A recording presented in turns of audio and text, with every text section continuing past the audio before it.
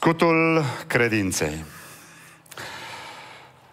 Haideți să vedem o mică radiografie, dacă vreți, a stării noastre de credință. Dați-vă rezultatele micului sondaj de pe Instagram. Cum stă cu credința? Abia răzbesc, spun vreo 3%. Peste 50% se luptă.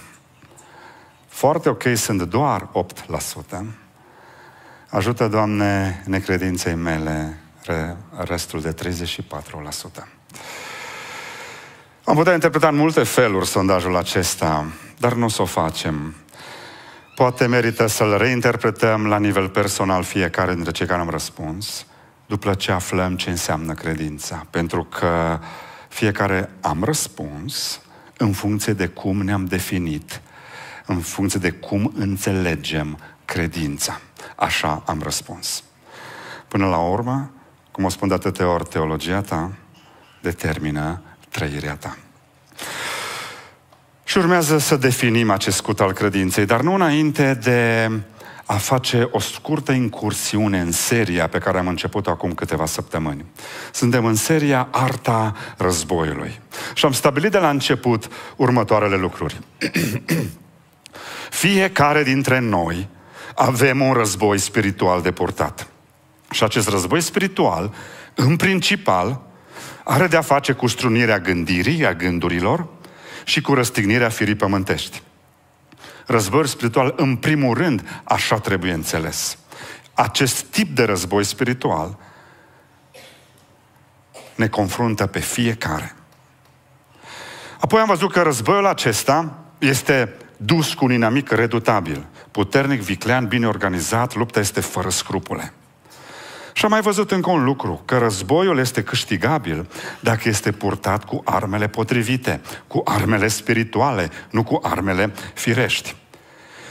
Și Pavel, în închisoarea Mamertină, se uită la un soldat roman, cel care îl păzea foarte probabil, și începe să facă o analogie absolut ieșită din comun legată de războiul în care suntem implicați fiecare și armele purtate de soldat, echipamentul soldatului. Și analogia este mișcătoare. Este extrem de bine gândită, este inspirată de Duhul Sfânt până la urmă. De ce? Uitați-vă în ce fel, până și armele acestea, așa cum le aranjează Pavel, subliniază cât se poate de tare că războiul spiritual în care ne aflăm nu este în principal o luptă cu duhurile, exorcizări și așa mai departe, ci are de-a face cu strunirea gândurilor și răstignirea firii pământești. Pavel începe descrierea echipamentului, a armelor de luptă, cu cingătoarea, cingulum. Cuvântul scris al lui Dumnezeu. Este autoritatea care ține la oaltă toate celelalte piese ale armurii și am văzut că aproape fiecare piesă este ancorată în centură. Fără centura adevărului, fără acest cingulum cu care să te încingi, toate, toate piesele armamentului îți dau de furcă și nu te ajută. Apoi am văzut platoșa neprihănirii, lorica segmentata. Platoșa neprihănirii ne asigură o protecție. Ea este ancorată în centură, este prinsă acolo să nu se miște pe tine, este ancorată în centura adevărului și ea îți protejează inima în fața descurajărilor și calomniilor celui rău. Platoșa neprihănirii. Neprihănirea este actul divin prin care dreptatea lui Dumnezeu este transformată în iubire.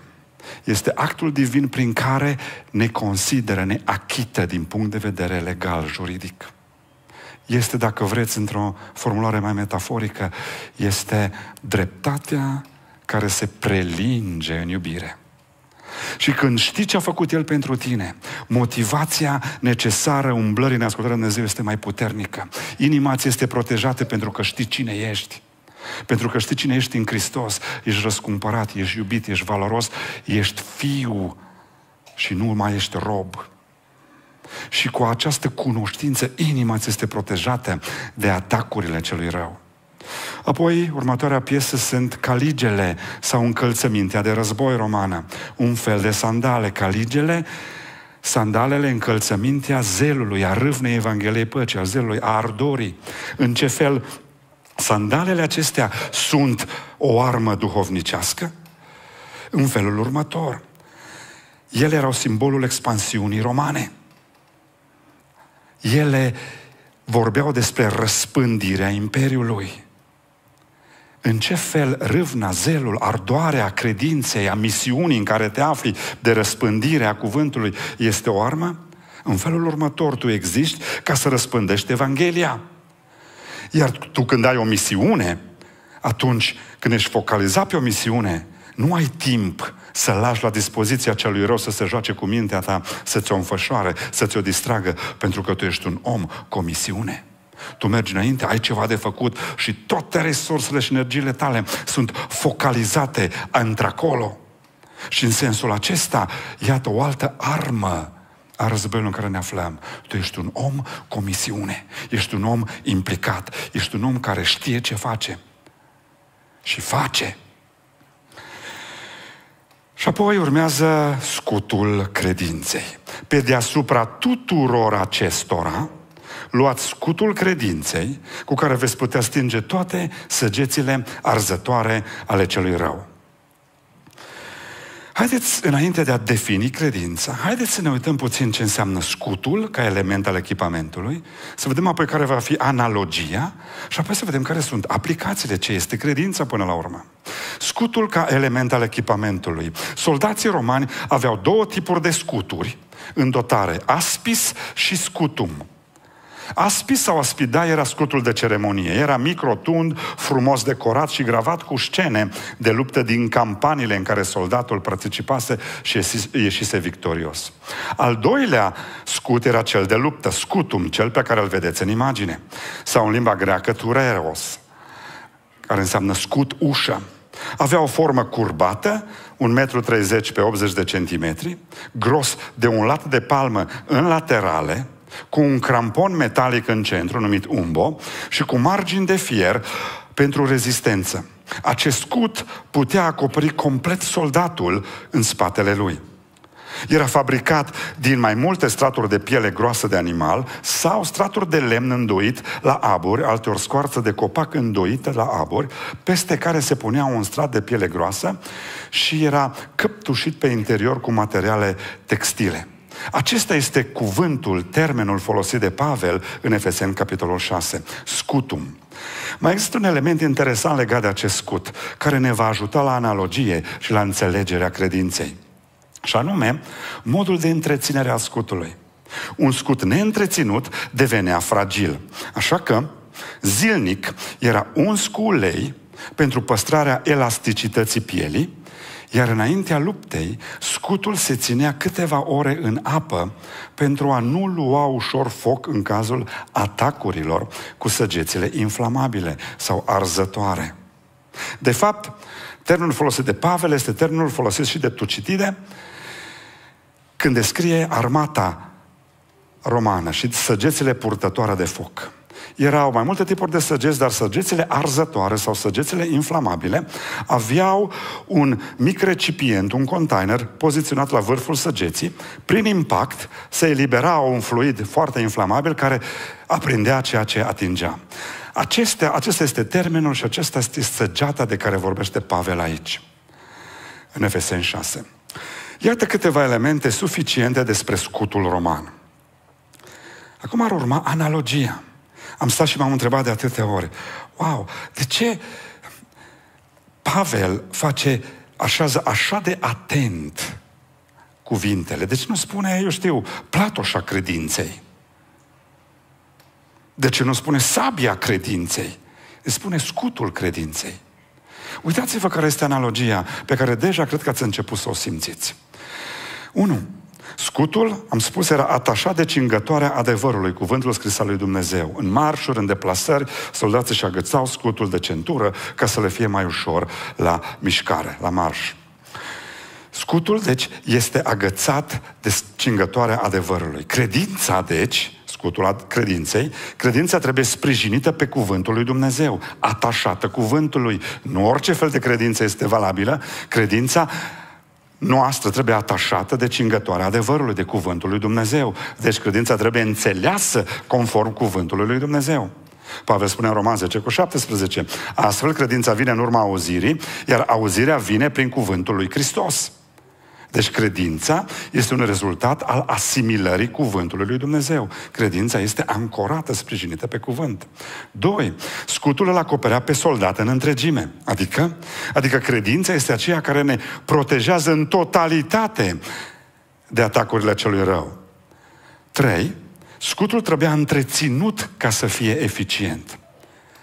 Adică, o credință neglijată se va desface în bucăți, de aceea are nevoie de ungerea Duhului Sfânt, zilnică, și de saturarea cu apă, adică cuvântul lui Dumnezeu, pentru a stinge săgețele inflamabile. De ce spun asta? Pavel în Efeseni, capitolul 5, spune versul 25, Hristos a iubit biserica și s-a dat pe sine pentru ea ca să o sfințească după ce a curățit-o prin botezul cu apă prin cuvânt. Deci, întreținerea scutului presupune întreținerea credinței. Ungere zilnică cu Duhul Sfânt și saturare în apă, adică în cuvântul lui Dumnezeu. Niciun credincios nu se poate mulțumi cu victorile trecutului. El are nevoie de o constantă ungere divină și saturare cu cuvântul lui Dumnezeu. Și a patra analogie, scutul stinge săgețile arzătoare. Oricare ar fi acestea, boală, durere, pierdere, eșecuri, spite și așa mai departe.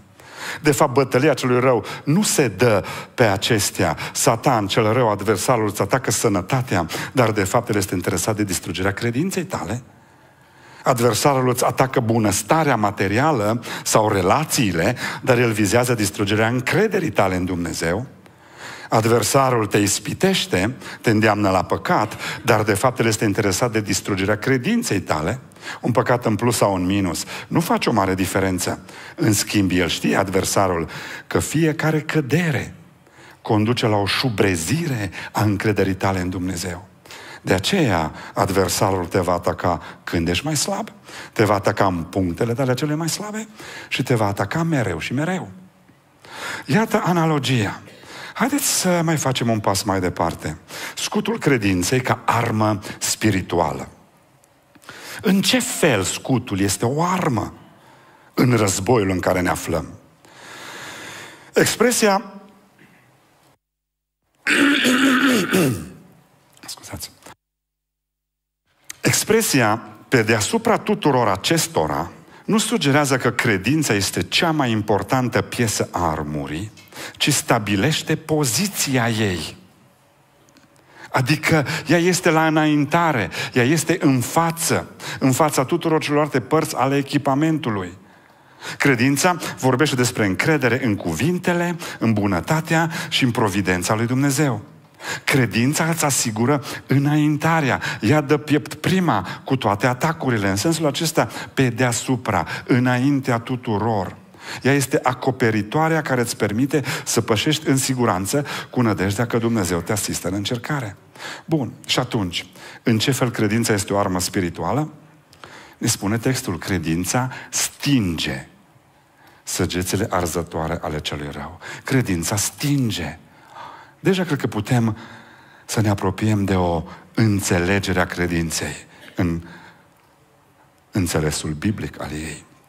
Credința nu face viața mai ușoară, ci o face mai ușor de îndurat. Sau mai bine zis, nu îți scutește viața de necazuri, săgeți arzătoare, ci te ajută să le depășești, le stinge. Și această afirmație este cât se poate de bine demonstrată de Pavel și nu cred că la întâmplare Pavel face analogia scutul credinței. Viața lui Pavel este cel mai bun argument al acestui adevăr. Ce fel de protecție a asigurat lui Pavel scutul credinței? Haideți să vedem. 1. Încrederea lui în Dumnezeu nu l-a scutit de încercări. Ascultați-l pe el vorbind. De cinci ori am căpătat de la iudei 40 de lovituri fără una. De trei ori am fost bătut cu nuiele. Odată am fost împroșcat cu pietre. De trei ori s-a sfărâmat corabia cu mine. O noapte și o zi am fost în adâncul mării. Deseori am fost în călătorii, în primejdi pe râuri, în primejdi din partea tâlharilor, în primejdi din partea celor de neamul meu, în primejdi din partea păgânilor, în primejdi din cetăți, în primejdi din pustie, în primejdi pe mare, în primejdi dintre frații sănăt- mincinoși mincinoși. Toate încercările de mai sus, nu sunt ele săgeți arzătoare? Ba da! Dar nimic nu este mai greu decât să știi că ți-ai dedicat viața lui Dumnezeu și totul, totuși o duci greu. Doamne, eu sunt misiunea Ta. De ce trec prin atâtea? De ce atâtea încercări? Tocmai mie care muncesc, lucrez pentru împărăție, de ce? Se pare că credința nu-ți asigură înlăturarea situațiilor grele din viață. Apoi, încrederea lui Pavel în Dumnezeu nu l-a scutit de infirmități fizice. Ne spune Pavel în 2 Corinteni 12 de data aceasta.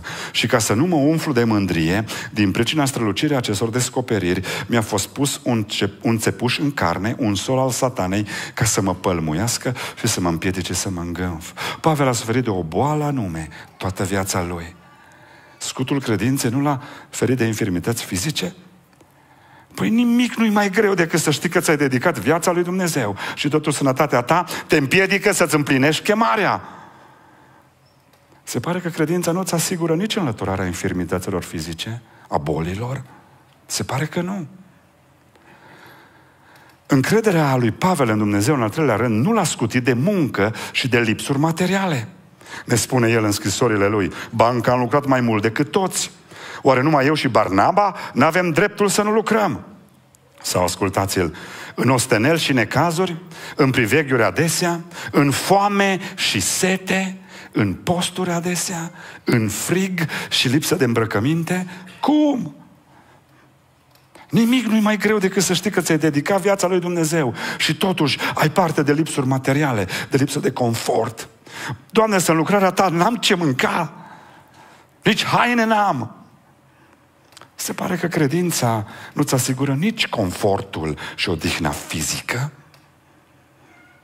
Se pare că credința are de-a face cu altceva. 4. Încrederea lui Pavel în Dumnezeu nu l-a scutit de eșecuri. Și ascultați-l din scrisoarea lui din nou. Fraților, am aflat despre voi de la Ecloie că între voi sunt certuri. Sau din toate părțile se spune că între voi este curvie și încă una din acelea care nici chiar la păgân nu se pomenește. Dima din dragoste pentru lumea aceasta ne-a părăsit, îi scrie lui Timotei. Păi cum? Nimic nu e mai greu decât să știi că ți-ai dedicat viața lui Dumnezeu și totuși rezultatele eforturilor tale lasă de dorit. Adică, Doamne, mă sfarm tot. Eșec după eșec. Se pare că credința nu-ți asigură nici înlăturarea eșecurilor și dezamăgirilor din viață. Bun, de atunci, ce fel de protecție îți asigură scutul credinței? Ce fel de protecție îți asigură scutul credinței? Scutul credinței are de-a face cu protecția lucrurilor ce țin de sufletul omului. Noi deseori trăim focalizați pe incidentele vieții și nu pe esența vieții. Suntem focalizați pe condițiile de trai și nu pe caracterul ce ne dezvoltăm. Suntem focalizați pe posesiunile noastre și nu pe disponibilitatea noastră. Suntem focalizați pe lucrurile ce țin de trup și nu pe cele ce țin de suflet. Noi căutăm un scut care să ne protejeze împotriva atacurilor asupra vieții firești. Noi asta am vrea să producă credința. Un scut împotriva tristeții, să o țină deoparte. Un scut împotriva eșecurilor, să nu ne scade imaginea. Un scut împotriva sărăciei. Deși sărăcia e atât de relativă, când zici că e sărac? Când poți îndrăzni să spui că e sărac? Așa de relativă definiția sărăciei. Dar noi am vrea să nu fim un scut împotriva durerii, să nu avem parte de înțepăturile circumstanțelor. Pe scurt, noi vrem un scut, o credință care să ne asigure confortul. În schimb, Pavel vorbește despre un scut care să asigure sfințenia. Nu un scut care să ne protejeze de situațiile neplăcute, le-a avut din plin și el și le avem din plin și noi. Ci un scut care să ne păzească de efectul nociv al situațiilor neplăcute. Pentru că scutul credinței te păzește de îmbolnăvirea sufletului. Auzim azi pe prea mulți că suntem bolnavi și săraci pentru că nu avem o credință autentică sau o credință destulă. De unde vine o astfel de afirmație? Că din Biblie nu. Fac rugăciuni de vindecare și dacă nu se vindecă, tu ești de vină că n-ai avut credință destulă. De unde până unde chestia asta? Te învinovățesc pe tine. Dacă ai crede, s-a rezolva. ce e credința asta? E un soi de, eu cred foarte tare, sunt convins, acum așa se va întâmpla. Și dacă nu se întâmplă, ce ai făcut? Ești năucit. Pentru că definim credința greșit. Și credem că credința e un fel de talisman, magic. O spui, zici de câte ori, repezi de câte ori pot, cred, eu cred, eu cred, așa se va întâmpla, eu cred. Și, și nimic. Și pe urmă ce-ți mai rămâne? N-ai credință. Ești pe nicăieri. Din cauza ta a murit fiul tău. Că n-ai credință. Ar fi înviat, dar n-ai credință. Aberant. Scutul credinței te păzește de îmbolnăvirea sufletului. Asta trebuie să înțelegem. Scutul credinței te păzește de efectele nocive ale situațiilor. Nu știu cât de mulți ați prins eclipsa totală de soare în anul 1999, un eveniment unic în viața noastră și era o mare campanie în toată țara. Să, în România se vede cel mai bine. Veneau de peste tot în România să vedem eclipsa totală de soare în miezul zilei. Și în campania aceea toată lumea își cumpăra niște ochelari cu plastic sau sticlă colorată și ni s-a spus foarte clar, nu vă uitați la soare cu ochiul liber și mai ales după ce soarele revine, razele puternice îți pot arde ochii. Așa că purtați ochelari când veți privi eclipsa. Și cu toții ne-am cumpărat ochelari. Și am privit eclipsa. E bine, ochelarii aceia filtrau razele nocive ale soarelui, arsura soarelui.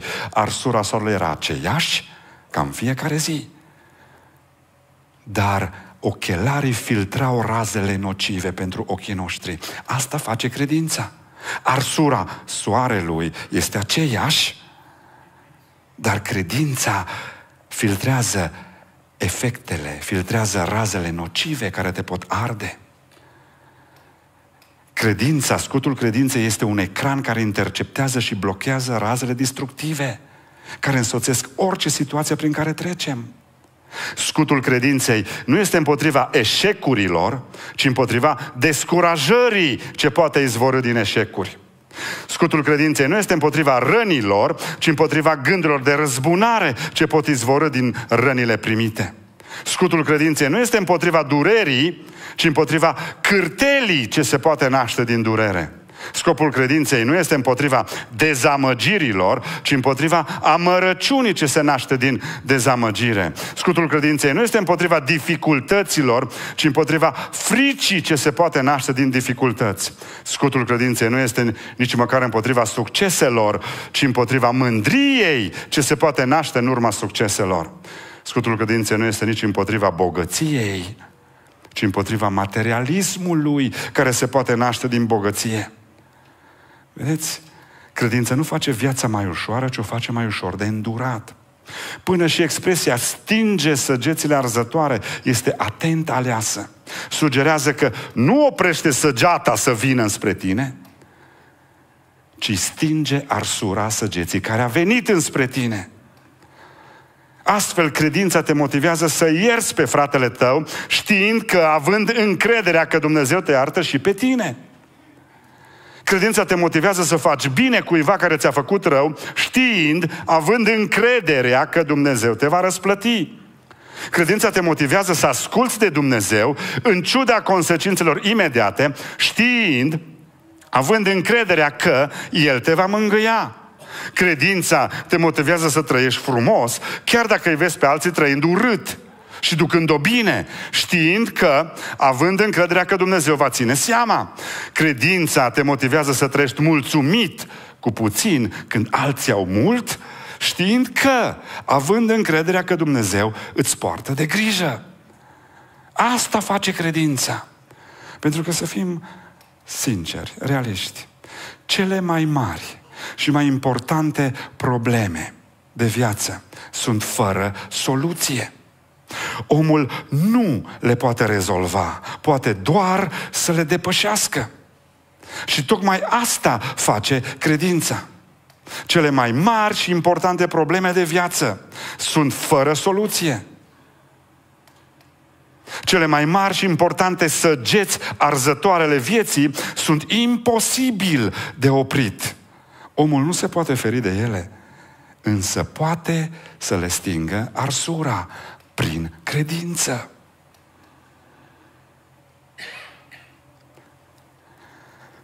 Care ar fi câteva aplicații pentru noi astăzi?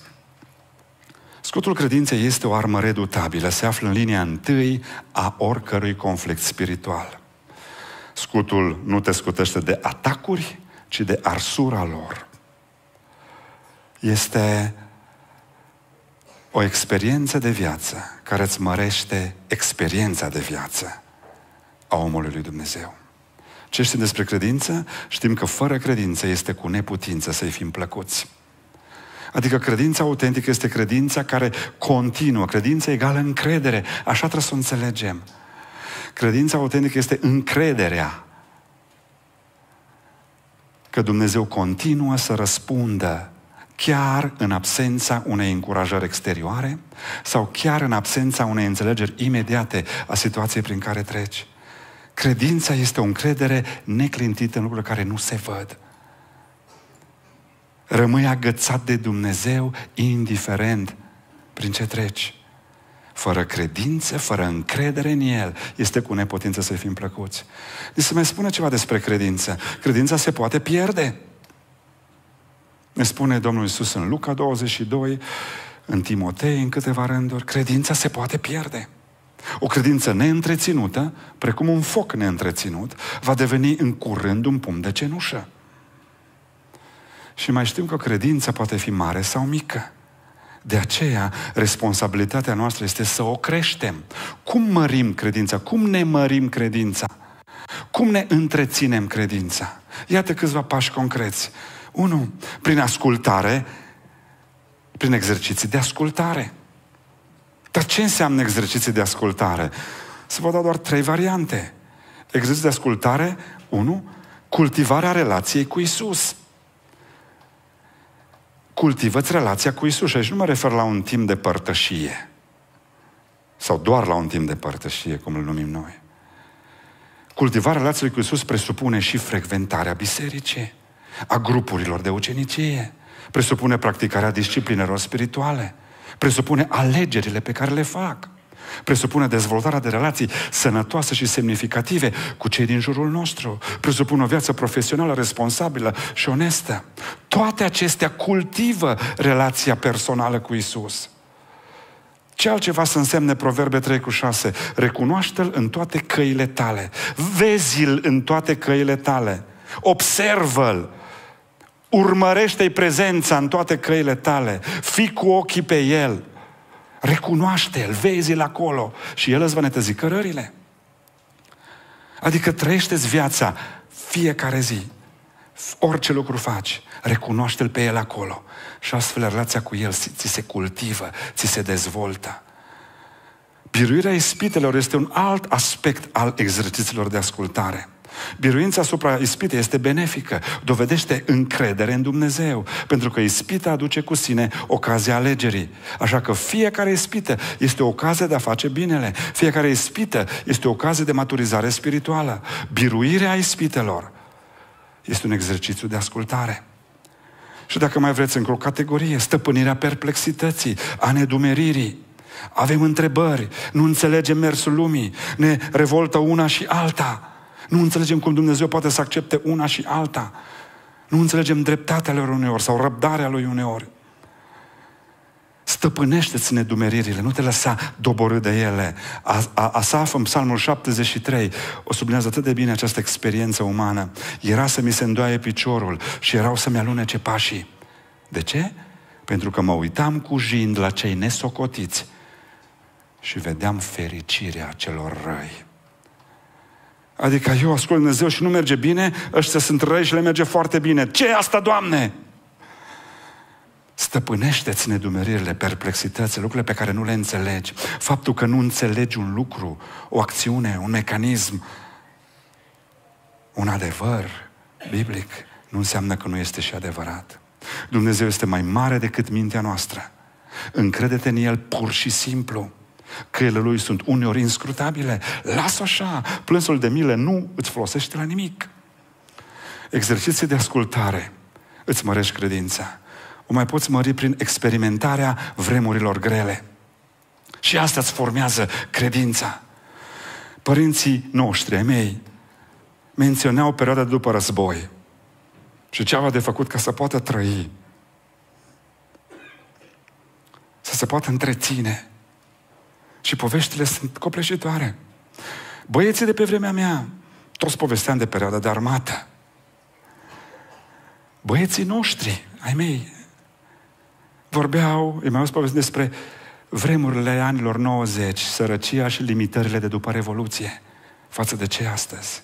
Astăzi, Gen Z, generația Z, cum li se place, cum le place să li se spună, despre ce mai vorbesc? Ce mai menționează?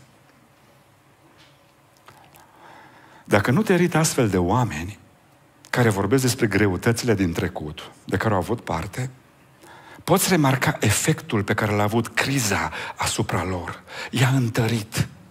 Credința este un dar ce crește pe măsură ce îl folosim. Și credința se exersează cel mai bine în vremuri grele.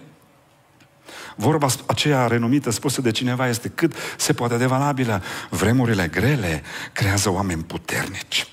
Oamenii puternici creează vremuri bune. Vremurile bune creează oameni slabi. Oamenii slabi creează vremuri grele din nou și iată cercul istoriei cum se închide din nou. De fapt, dezastrul ultim care poate veni peste noi este să ne simțim aici pe pământ, ca acasă. De ce? Prin faptul că Dumnezeu lasă insatisfacții peste noi. El ne menține atenția trează. Asta spune Pavel în 2 Corinteni 4 cu 17, căci întristările noastre ușoare de o clipă, temporare, lucrează pentru noi tot mai mult o greutate veșnică de slavă. În alte cuvinte, întristările noastre ușoare și de o clipă. Vremurile grele din viața noastră creează, mărește credința, o greutate veșnică de slavă. Cum crește credința? Mai mai crește și prin experimentarea puterii comunității. Și aici ne ajută din nou un concept militar. În cazul unui atac, când soldații romani se aflau în inferioritate numerică, ei se apropiau unii de alții și își fixau scuturile unul de celălalt prin niște balamale laterale cu care erau prevăzute scuturile. Astfel se crea un zid masiv de apărare în fața inamicului și puteau să nu dea înapoi și chiar să meargă înainte. Când erau copleșiți, numeau formația aceasta testudo. Macedonienii au intrat în istorie, în istoria militară cu falanga macedoneană. Romanii au intrat în istorie cu formațiunea numită testudo, testoasa. Când erau în pericol sau surclasați numeric, își legau scuturile unul de celălalt, își împlântau în pământ sandalele cu crampoanele acelea de 3 până la 5 cm și formau un zid aproape de neîmpins. Când tu erai mai slab și te împingeau înăuntru, cei de lângă tine găseau resurse să te țină acolo și la rândul tău îi ajutai. Erau unul lângă altul, unul pentru altul. Era un zid de nerupt. Și puteau înainta unul după altul, împreună în formație.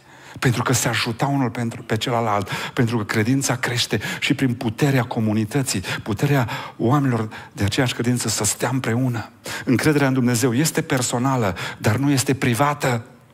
În momentele grele este de mare folos să-ți prinzi marginile scutului credinței tale de ale altor soldați care să preia din presiunea dușmanului, caută ajutor. Iată povestea uimitoare din spatele scotului credinței. Voi sunteți păziți de puterea lui Dumnezeu prin credință, spune Petru. Prin credință, puterea lui Dumnezeu ne păzește. Credința are rol de protecție, nu de atacuri, ci de efectul nociv al atacurilor. Așa că ține sus scutul credinței, ascunde-te în spatele ei, ancorează-ți scutul în cuvânt, să te asiguri că încrederea ta este corectă. Și la nevoie, intrați în formație ca să nu fiți stărăți la moarte. Vă invit să plecați capul și să rămânem un pic cu noi înșine în momentele acestea de final. Pentru că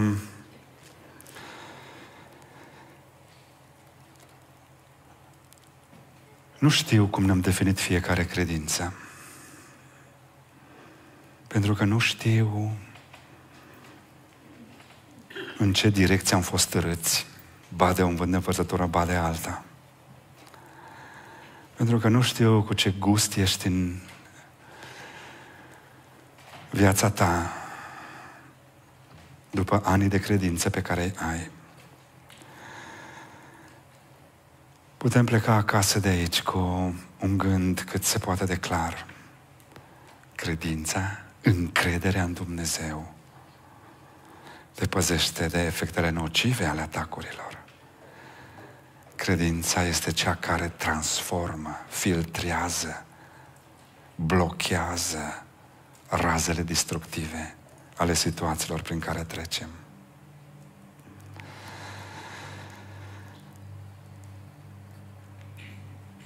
Dacă ai fost călcat în picioare de și dezamăgit și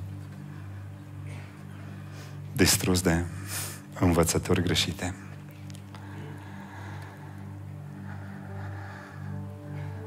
Și ai fost calomniat, și ai fost disprețuit pentru puțina credință pe care o ai. Nu te lăsa păcălit. Credința are de-a face cu sănătatea sufletului tău. Și dacă simți că trebuie să-i spui lui Dumnezeu ceva, ia momentul acesta și fă Dacă cel rău te-a ținut sub piciorul lui, spunându-ți că ești un nimic, că nu, că ești un eșec, că ești un nimeni, Dacă cel rău încerca să-ți spună că Dumnezeu de fapt nu te iubește, de aia toate astea peste tine. Pentru că nu ești plăcut în ochii lui că n-ai credință. Aha. Dacă te ține cel rău sub piciorul lui cu astfel de gânduri, adu-ți aminte, Hristos a câștigat războiul. Cel rău luptă, încă mai luptă doar din ură pură, știind că este un învins.